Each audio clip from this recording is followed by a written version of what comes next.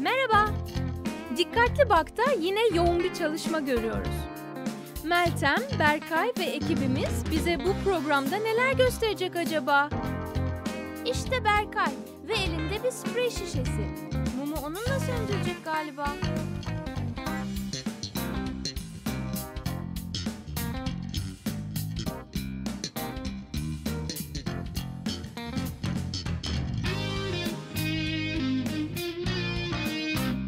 Dikkatli bakalım.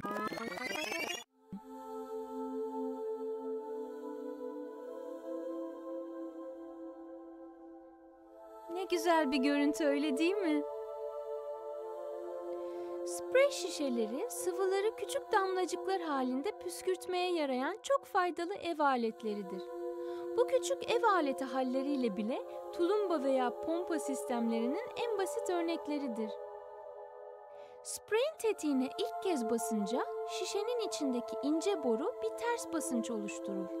Sıkma işlemi devam ettikçe boru sıvıyı bir tulumba gibi dışarıya taşır.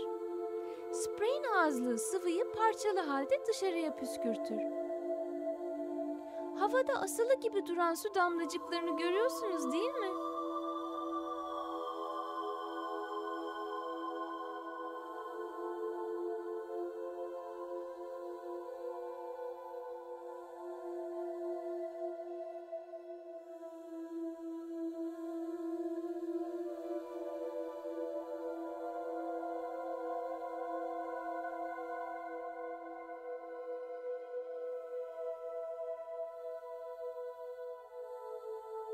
Şimdilik bu kadar.